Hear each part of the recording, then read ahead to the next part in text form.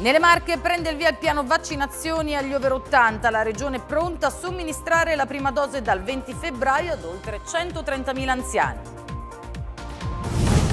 Tre castelli in lutto per la morte di Don Mario Mancini, parroco emerito di Ponterio, domani l'ultimo saluto al sacerdote scomparso all'età di 93 anni. Altri due commissari straordinari per le opere strategiche delle Marche. L'assessore Francesco Baldelli chiede al governo figure di alto profilo per l'arritramento della ferrovia e il collegamento tra la statale adriatica e il porto di Ancona. Entro l'estate la Rocca Malatestiana di Fano sarà messa in sicurezza. Tetto nuovo e restauro della muratura al lato ferrovia. Durante i lavori scoperti un forno e una grotta. Il sindaco punta all'apertura al pubblico della terrazza. A Marotta di Mondolfo partiti i lavori di riqualificazione del molo danneggiato dalle mareggiate, avviato anche il progetto per la manutenzione delle scogliere. Presentata l'immagine ufficiale del Carnevale di Fano, il vulone al centro dell'opera di Carlo Simoni, ricca di colori e simboli della città per lanciare un messaggio di gioia e di speranza.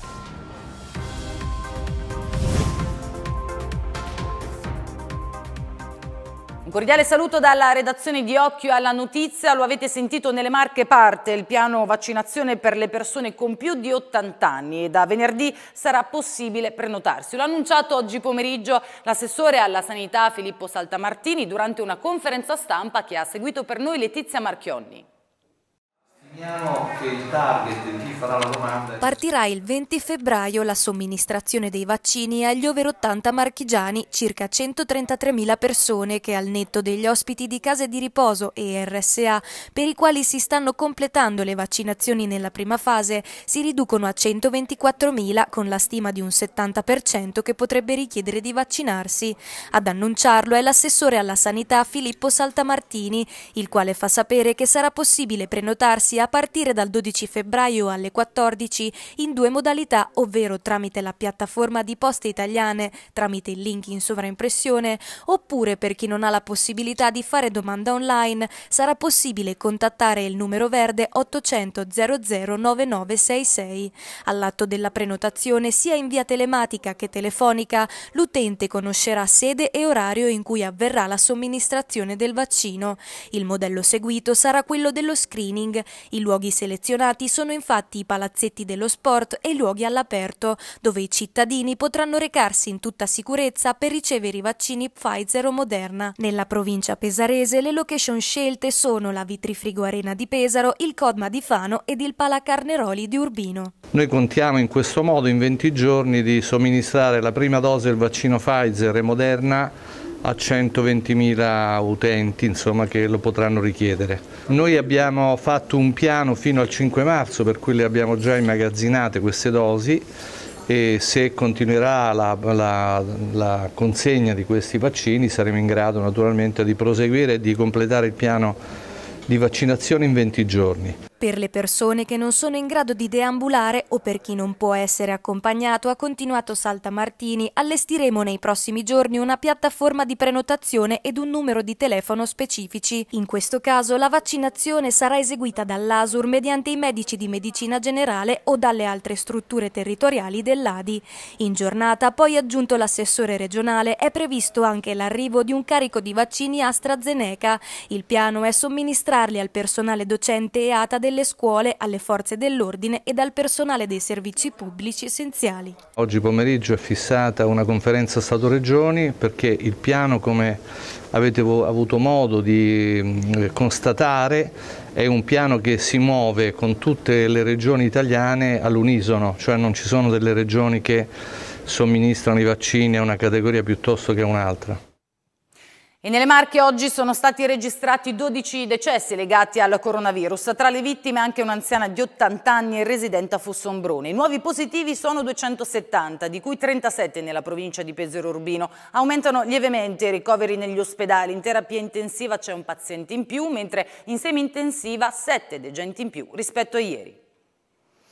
E la comunità di Tre Castelli è in lutto per la morte di Don Mario Mancini, parroco emerito della parrocchia Beata Vergine del Rosario di Fatima. Ad esprimere cordoglio anche il sindaco Marco Sebastianelli e l'amministrazione comunale a nome di tutta la cittadinanza. Una importante figura di riferimento, quella di Don Mario, 93 anni, da sempre vicino alle famiglie, agli anziani, ai giovani. È stato il primo parroco nel 1961 della parrocchia di Ponterio, in cui è passato gran parte della sua vita fino al 2012, contribuendo alla crescita spirituale e sociale della cittadinanza. La città di Trecastelli, si legge in una nota, porge una, con riconoscenza, affetto e stima il saluto a un uomo che ha trascorso la vita rivolgendo attenzione alla preghiera e alla sua comunità. I funerali del sacerdote verranno celebrati domani, mercoledì 10 febbraio alle ore 15 nella chiesa parrocchiale di Ponterio. La tumulazione invece è prevista per giovedì alle ore 9 nel cimitero Le Grazie di Senigallia. Ed ora una notizia che è arrivata nel tardo pomeriggio di oggi nella nostra redazione, risultato positivo al Covid-19 Armando Trasarti, vescovo della diocesi di Fano Fossombrone Caglipergola. Attualmente ha sintomi lievi e lamenta solo una febbricciola, non accusa disturbi respiratori e viene attualmente seguito da un punto di vista clinico. Invitiamo i fedeli e tutti coloro che lo conoscono, si legge in una nota della diocesi concordata con il dottor Frausini, a ricordarlo nella preghiera e a seguire con fiducia e speranza il decorso della della malattia. Cambiamo argomento e parliamo di infrastrutture perché l'assessore regionale Francesco Baldelli ha chiesto altri due commissari straordinari. Sentiamo. Altri due commissari straordinari per altrettante opere strategiche, l'arretramento della linea ferroviaria e il collegamento tra la statale adriatica e il porto di Ancona, noto anche come ultimo miglio. È quanto chiede la Regione Marche al governo e l'annuncio arriva dall'assessore alle infrastrutture Francesco Baldelli. La Regione Marche vuole tagliare i tempi per la realizzazione di opere importanti per superare il gap infrastrutturale in cui la nostra comunità regionale si trova la nomina di un commissario per il collegamento fra il porto di Ancona e la statale 16, passando il nodo dell'ospedale di Torrette di Ancona, e eh, un commissario per la progettazione dell'arretramento e quindi della realizzazione dell'alta velocità e alta capacità lungo la linea adriatica, quella ferroviaria. Si tratta di un intervento di progettazione di circa 305 milioni di euro per un importo complessivo dell'arretramento e della realizzazione dell'alta velocità nel tratto marchigiano tra Bologna e Lecce di oltre 9 miliardi di euro di investimenti.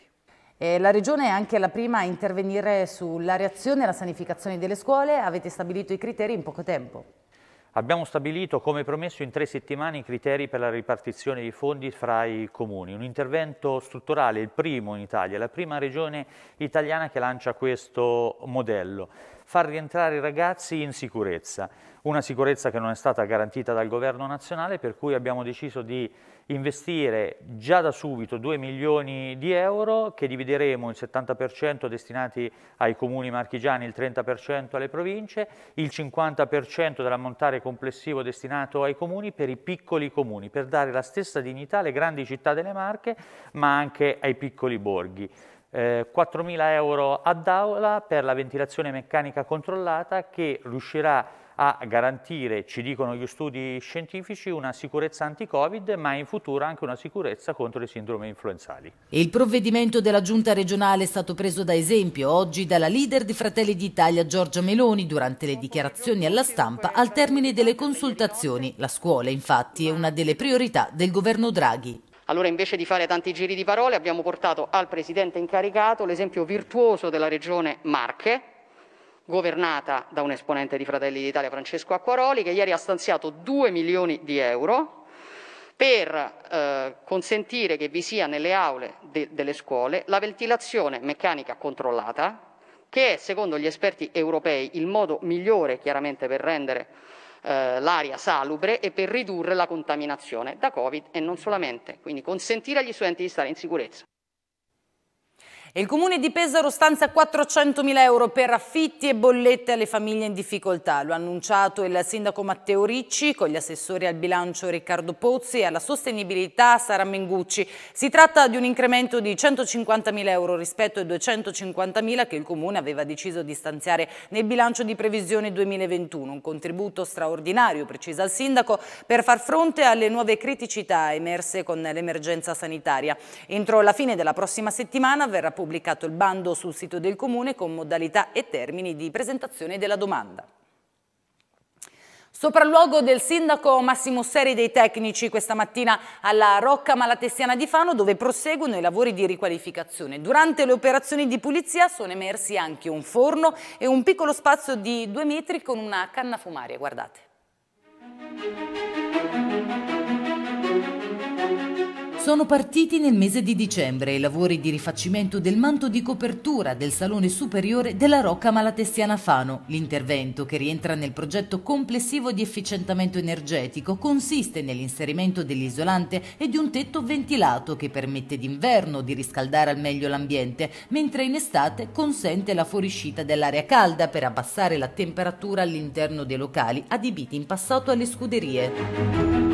Proprio qui, infatti, sostavano i cavalli che raggiungevano il piano superiore attraverso una rampa posizionata dove oggi ci sono queste scale. Per i lavori al monumento sono stati stanziati 250.000 euro comprensivi della pompa di calore installata lo scorso anno. 101.000 euro invece sono destinati al restauro e alla messa in sicurezza della muratura lato ferrovia. Eh, manca soltanto il uh, rimontaggio dei coppi, alcuni dettagli ehm, quindi nel giro di breve contiamo di ehm, smontare il cantiere. Insomma. Durante il sopralluogo l'ingegnere Caiterzi ci ha mostrato anche delle importanti scoperte fatte durante i lavori di pulizia lungo il camminamento, utilizzato al tempo per i cavalli e i servizi igienici. Infatti era dagli anni Ottanta che questa zona non veniva ripulita da erbacce e piante infestanti ed oggi, dopo aver rimosso la vegetazione, sono state notate delle fessure e buchi sospetti. Stiamo anche eh, pensando di mh, ovviamente eh, sfruttare il ponteggio esistente per ehm, eh, mettere in sicurezza diciamo, le parti più alte, sicuramente quindi recuperare le parti più alte. E, mh, nel fare questo alla base ci siamo imbattuti ehm, in una piccola grotta che abbiamo scoperto e, e questo insomma ecco, mh, eh, con alcuni detriti ehm, come succedeva spesso in questi casi sono anche del, degli elementi ehm, di ceramica eh, eccetera abbiamo in, in diciamo, l'intenzione di eh, rimetterlo a posto, di, di, di, di approfondire lo scavo, ma con successivi interventi. Scoperto anche un architrave in arenaria con un'apertura che secondo gli esperti potrebbe trattarsi di un camino particolarmente attento ai racconti del direttore dei lavori, il sindaco di Fano Massimo Seri, che spera di far mettere in sicurezza entro il prossimo anno anche la terrazza. Sì, abbiamo fatto questo sopralluogo per vedere lo stato dell'arte dei lavori di restauro che continuano. Qualche anno fa abbiamo ridato vita a questo spazio straordinario che è diventato un contenitore eh, culturale, ricreativo però ha un potenziale ancora molto forte. Anche questo posto dove siamo adesso ha forti suggestioni, una terrazza sul mare con l'eremo di Monte Giove alle spalle e quindi è uno spazio che può essere vissuto e direi goduto per cui a testimonianza di questa città che ha, che ha veramente dei patrimoni che non sono statici ma sono dinamici nella quale possiamo organizzarci tante belle cose. Ecco questa è la sfida che noi stiamo raccogliendo, quella di continuare a valorizzare la città per renderla viva per chi la vive ma soprattutto per farla sempre più attrattiva per la gente. Abbiamo una bella città e chi l'amministra è giusto che la valorizzi.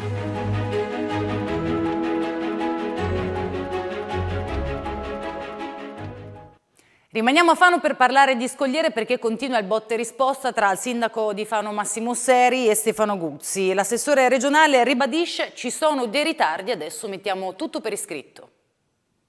Io l'altro giorno non replico, nel senso che io non voglio fare polemiche, nel senso che io l'altro giorno sono venuto a Fano, da assessore regionale ad avvisare l'amministrazione comunale di Fano che causa una serie di ritardi che si stavano perpetrando nella gara d'appalto per le scogliere di Metoriglia si rischiava di perdere un finanziamento. Finita quella riunione Eh, io ho rilasciato delle dichiarazioni alla vostra emittente e ad altri giornalisti, il sindaco il giorno successivo se l'è presa perché sembra che io l'abbia fatto di nascosto, quando invece l'ho fatto all'interno della sala della Concordia della residenza comunale, quindi a casa tra virgolette del sindaco. Sono qui semplicemente a precisare questo, che il ritardo c'è da parte del Comune di Fano e, della, e del Ministero, perché qui il protocollo diceva che eh, nel 2018 ha firmato l'accordo, entro il 2020 dovevano essere finiti i lavori. Ovviamente non sono finiti, è stata una proroga al 2022, però da questo protocollo si evince che entro gennaio 2021 deve essere approvato il progetto, non è stato approvato. Entro ottobre occorre fare la gara d'appalto, entro il 2022 rendicontare tutti i lavori finiti, 4 milioni di euro. Secondo me siamo molto stretti coi tempi. Io bonariamente l'altro giorno sono venuto a dirgli che se lavoriamo insieme noi possiamo cercare di spostare come regione il finanziamento al 2025 per non perderlo Visto che si è un po' risentito, io adesso gliel'ho messo per iscritto, con una lettera ufficiale dalla Regione Marche. A questo punto, se il sindaco pensa di non essere in ritardo, conclude tutto il 2022, mi fa piacere. Se pensa che qualche rischio c'è, basta che mi risponda a questa lettera chiedendo alla Regione Marche di spostare i finanziamenti. Io sono più che mai disponibile. Lavoro con tutti i sindaci delle Marche, ancora più volentieri lavoro insieme al sindaco di Fano, se c'è condivisione sul progetto ovviamente e sulla finalità. E sono partiti ieri mattina lavori di riqualificazione del molo di Marotta, danneggiato a seguito delle mareggiate degli anni scorsi. Avviato anche il progetto per la manutenzione delle scogliere. Vediamo. Ci troviamo qui a Marotta nel comune di Mondolfo dove da ieri sono iniziati i lavori di riqualificazione e messa in sicurezza del molo. Nuove ringhiere, sistemazione della pavimentazione e riaffioramento della scogliera a protezione del molo. Sono partiti i lavori di riqualificazione del molo di Marotta danneggiato a seguito delle mareggiate degli scorsi anni. Gli interventi, fa sapere il primo cittadino di Mondolfo, Nicola Barbieri, sono finanziati con circa 50.000 euro dalla Regione. Andiamo a completare la messa in sicurezza e riqualificazione eh, del molo. In questi anni come amministrazione comunale abbiamo fatto diversi interventi, dalla nuova illuminazione pubblica eh, a LED, ma anche la nuova pavimentazione qui della piazzetta eh, del Molo, i mosaici che sono stati eh, realizzati grazie all'associazione Chiaroscuro, quindi tornerà eh, a splendere uno dei luoghi simbolo della nostra città. A fine 2020 ha poi continuato il sindaco Barbieri, abbiamo affidato l'incarico per la progettazione di interventi di manutenzione delle scogliere su tutto il litorale marottese, progetto avviato anche in collaborazione con l'associazione Bagnini. L'obiettivo è quello eh, di arrivare ad avere un progetto definitivo per la primavera di, di quest'anno perché senza progetti non potremo partecipare eh, ai bandi e quindi ottenere i finanziamenti. Sulla difesa della costa ci puntiamo molto, nel 2019 abbiamo fatto un intervento importante di potenziamento delle scogliere a Marotta Sud e abbiamo visto che ha avuto ottimi eh, risultati e vogliamo continuare anche in altre zone coinvolgendo la, la, regione soprattutto sulle zone più critiche della nostra città, in particolar modo nella zona centrale di Marotta. Il manifesto del Carnevale di Fano quest'anno è a firma dell'artista e nipote di Federico Seneca, Carlo Simoni. Questa mattina è stata presentata l'opera raffigurante il Voulon, i luoghi della città e anche Dante Alighieri in un tripudio di colori. Filippo Pucci. All'interno della sala della Concordia del Comune di Fano, questa mattina l'ente carnevalesca ha presentato il manifesto ufficiale del Carnevale di Fano 2021, un'opera firmata Carlo Simoni. colorato gioioso che dà energia e speranza. Sono questi gli elementi distintivi che il pittore e attore di fama nazionale, nonché nipote di Federico Seneca, ha voluto richiamare nel manifesto che accompagnerà dall'11 al 16 febbraio tutti gli appuntamenti dedicati alla manifestazione più antica d'Italia. Tra le raffigurazioni, oltre al Voulon, i luoghi caratteristici della città e un quadro raffigurante Dante Alighieri, tema di quest'anno. La cosa bella di questi simboli sono sempre mh, il, eh, la lotta contro ciò che non è bene per la società. Ecco, e, e, io l'ho messo al centro su un piatto che è un, che è un, pulpito, diciamo, però un pulpito di benessere, di speranza, di, di gioia, di, eh, voglia di, di energia, di, di, vita e quindi eh, e vale per tutti, per tutti e per tutte le età. Ho acceso molti colori come vedete proprio per quello. Ho voluto proprio un pochino dire guardate che la vita è fatta di tante sfumature, di tante eh, diversità e se ci mettiamo tutti insieme troviamo un benessere generale. Soddisfatta di questa importante collaborazione la presidente dell'ente carnevalesca Maria Flora Gianmarioli. Sono tre anni che abbiamo ripreso la tradizione dei manifesti d'autore e non potevamo non chiedere a Carlo Simoni di offrire alla sua città una, una sua opera ed ecco ha prodotto un, direi un manifesto eh, strabiliante con dei colori accesi, allegri eh, che mettono mm, voglia di vivere, speranza e penso che in questo momento particolare sia, sia proprio adatto. Eh, ovviamente lo ringrazio e insomma eh, rientrerà eh, nei, nei, grandi manifesti d'autore del Carnevale di Fano.